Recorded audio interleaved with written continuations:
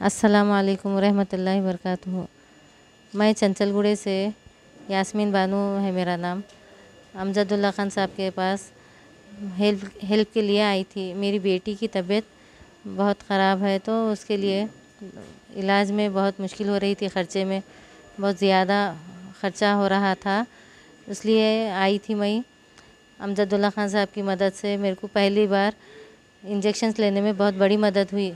तकरीबन दो इंजेक्शन का ख़र्चा तीस चालीस हज़ार रुपये हुआ। अब दूसरी मरतबा फिर इंजेक्शन्स लिखे डॉक्टर साहब। वो इंजेक्शन्स होने के बाद ये दूसरे इंजेक्शन्स लिखे हैं फिर। वो पच्चीस तारीख को दिलाना है, जिसके लिए मुझे ज़रूरत है पैसों की। एक इंजेक्शन की कीमत तीस हज़ार रुपये है। वो हिसाब से मेरे को अभी पच्चीस तारीख को दो इंजेक्शन्स दिलाना है। और मुझे पूरा टोटल इलाज में चौदह इंजेक्शन्स लग रहे हैं। यही कीमत के इंजेक्शन से पूरे इसके लिए मैं मदद चाहती हूँ, सबसे अपील करती हूँ।